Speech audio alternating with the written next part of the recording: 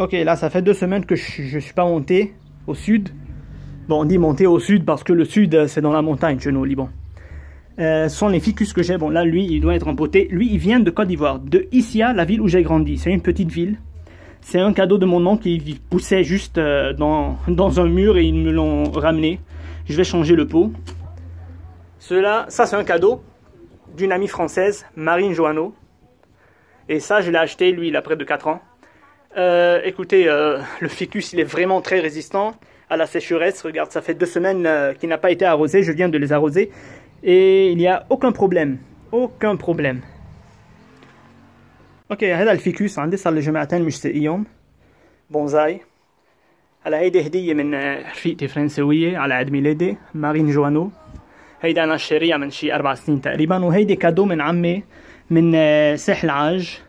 آه، من آه، مدينة اللي عشت فيها أنا وربيت فيها اسمها إيسيا كانت طالعة بقلب الحيط وجابوا لي إياها كادو بس آه، مكسور البو تاعولها بدي أرجع بدي أرجع ظبطها وهي عم عم تطرد عن جديد صار لي جمعتين مش ساقيهم الفيكوس عن جد بتتحمل العطش وهلا ساقيتهم طبعا لانه هلا جيت على الجنوب وهيهم ما في ولا اي مشكله حتى لو ما حتى ما دبلوا يعني فبالنسبة للماء الفيكوس بتتحمل العطش